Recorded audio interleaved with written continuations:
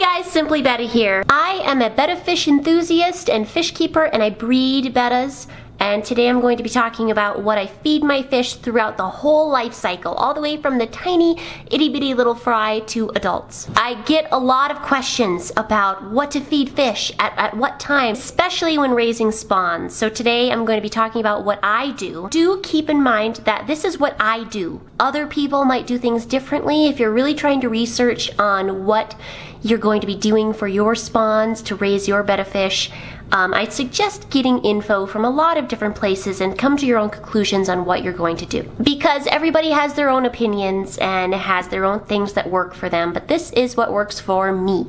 I'll be going through the foods that I use, starting from the tiniest, meant for the tiniest fry, all the way up to the biggest foods meant for adults. For my babies, for my fry, for my growing spawns, I keep my own live food cultures. It's important to note that um, betta fry really need live foods. They need live foods. They don't have the instinct to eat pellets or flakes. Their instinct tells them they need to be eating little live wiggly things. So in order to consistently give them what they need, I keep my own live food cultures. Most of these are pretty easy cultures. Um, they don't take a whole lot of effort and you'll have a consistent food source and that's important. The first food that I offer my spawns is called vinegar eels. Now they're not actually eels, they're these tiny little nematodes that you can keep in apple cider vinegar. It's super easy and it makes this really great first food for betta fry. They're tiny. They're so tiny you can hardly see them. So what I do is I have a little piece of coffee filter paper and I, I pour a few glugs of the apple cider vinegar in that holds my culture. I let it all drain out, fill it back up, and, and then I siphon it out with a syringe. One nice thing about vinegar eels is that they will stay swimming. They'll swim around, they'll stay up at the top levels of the water column. They don't just sink down like, like a lot of other live foods. I'd highly recommend using these as a first food. The next food that I like to use is called micro worms. It's like the next size up in the uh, food category. These guys are super easy to culture. All you need is some oatmeal. Just have a little container with holes poked in the top. You put your oatmeal in, and then you put a micro worm culture in and maybe a little sprinkle of yeast. That's optional really. And then pretty soon you're going to have this thriving culture of micro worms. They'll start crawling up the sides of the container and then I just take like a q-tip or a little uh, pipette and I scoop up a nice little glob. I put it in some water and then I'll suck it up with a syringe and, and then I'll use the syringe to divvy out all the microworms to my various fry tanks. Very easy to culture. It's a great little tiny, tiny, tiny food. One of the cons of microworms is that they sink they'll slowly sink down to the bottom. But it doesn't really matter because betta fry are little hunters and they'll go down to the bottom and they'll pick up the microworms from the bottom of their fry tanks. After microworms, I'll introduce baby brine shrimp. Now, if you've ever read about breeding fish or raising fry, you've probably read about hatching baby brine shrimp. Baby brine shrimp are so nutritious. They're a great fry food, absolutely fantastic. They're a little more of a pain in the, butt to actually culture. What you have to do is you have to buy brine shrimp eggs. You have to set up like a little hatchery. They need salt water. Um, so you just make some salt water, you throw in a little few eggs, and you have to have a bubbler and it bubbles all the, the eggs around. And after about a day or a day and a half, you'll start to see them hatch. And there'll be these tiny little red floating swimming little tiny red specks. Those are the things that you feed fry and they're so nutritious and you'll get really good growth rates. I really like baby brine shrimp. There are cons to baby brine shrimp like the hassle of making them and also if you feed them too much, betta, little baby bettas can develop swim bladder conditions. So it's important to note not to feed too much baby brine shrimp, but they're really, really great and nutritious. After baby brine shrimp, I go to grindal worms. Grindal worms are really, really cool. They're just these tiny little white wormy things. They're really easy to culture. You just keep them inside, keep them at room temperature, put them in like some potting soil or peat or something, and just I feed them dog food. I throw in a little kibble maybe every single day. Pretty soon I'm getting these huge masses of the tiny white worms.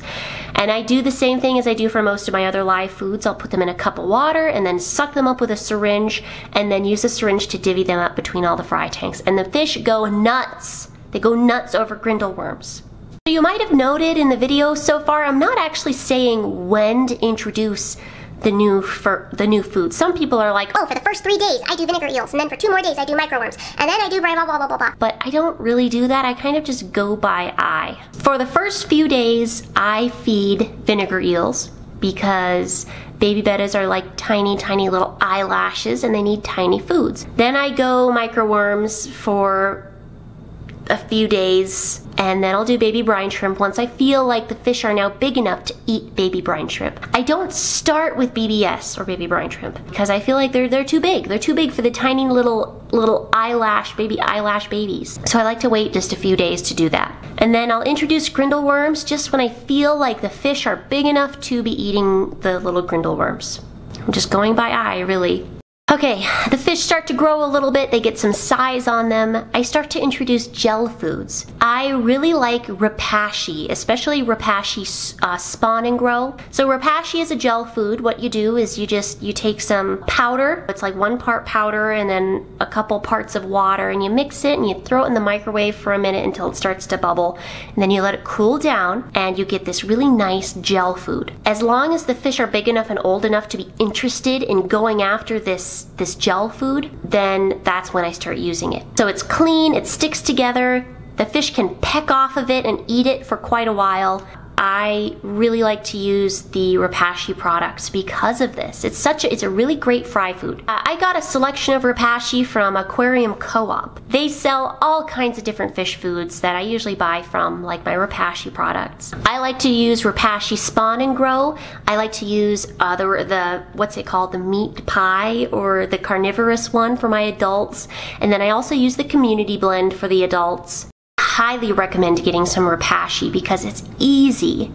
It's just easy. It is a hit. Sometimes I even make my own gel foods. I've done it before. This right here is a meat-based gel food. It's a beef heart recipe. The fish really like it. I had a lot of fun making it and it's lasted for quite a while. This is over a year old and I still have a few Ziploc bags. Now the cons between doing this versus buying a product like Repashy is that it's a pain in the butt. You'd think it'd be cheaper, but after buying all the ingredients and the vitamins and the frozen food that I add in, it's not that cheap at all. And then in this particular batch, I didn't use enough gelatin. Um, so it's actually pretty messy and it comes apart and I usually only feed this right before I do a water change. But making your own gel foods is an option, but it's, you know, it's a little bit more of a pain in the butt. And in my case, it's messier and I don't like that. I need to fix my recipe or I'm just gonna keep using Repashy and just forget about making my own gel foods. Okay, I also use frozen foods for my bigger fry once they start becoming interested in it, plus for my adults. This is, this is a staple for my adults, is frozen foods. I like to use frozen bloodworms and I also do frozen brine shrimp cubes. For the brine shrimp cubes, I'll just take a whole cube and I'll throw it in uh, a fry tank. That it falls apart really nicely and slowly and the fish love it. For the bloodworms, what I usually do is I'll put a bunch of cubes into a little cup and I'll let them thaw. And then I use a pair of tweezers and I just take out, you know, a little tweezer full and I individually feed my adults this way. Uh, I'll also feed, feed my, my juveniles in their grow outs, bloodworms. They're just, they're great. You can't go wrong with bloodworms. I buy boxes, I buy cases of frozen bloodworms and I store them in my freezer, just in the kitchen.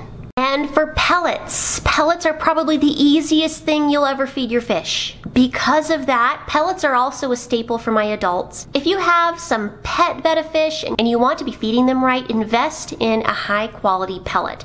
And you don't even have to really invest. I mean, what is it, like a couple dollars? It's really not that much. I like to use Bug Bites. Bug Bites has a betta pellet now. So what's nice is that it comes in this container that's, you just like shake it once or twice and you get a really good amount for one meal for one of your fish. And I like the Bug Bites brand. I like the fact that they're using black soldier fly larvae as their main protein source. I had a video about this a while ago explaining why I liked it, like as an environmental impact type thing like this pellet because it's easy. Another, some there's some really good pellets. Uh, there are some other good brands. I really like Omega 1. I like New Life Spectrum. Like there are some good brands. I got my pellets from Aquarium Co-op too, except for the bug bites. Fluval sent me those to try and I was pretty happy about those. But everything else I get from the Aquarium Co-op website.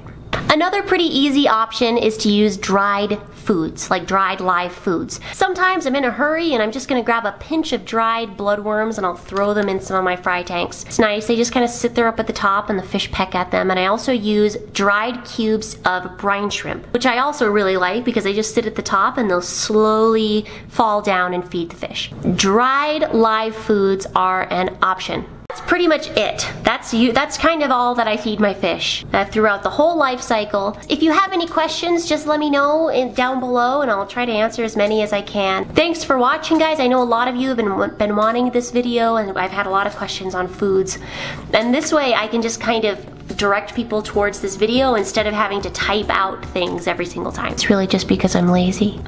If you love Betta Fish, be sure to give it a like down below and maybe even subscribe to my channel. I'll have a lot of fun stuff coming up soon. I also have a Facebook that I check sometimes, an Instagram, and a Patreon now. So I'll put the links down below. Thanks for watching guys and have a great day.